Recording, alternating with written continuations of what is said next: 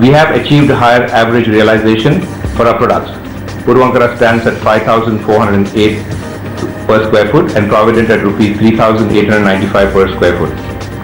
The current unrecognized revenue from sales stands at rupees 1,355 crores. We are targeting to launch 18 million square feet, 8 million square feet in Puravankara and 10 million square feet in Provident this fiscal. A number of other stocks were also buzzing in trade today.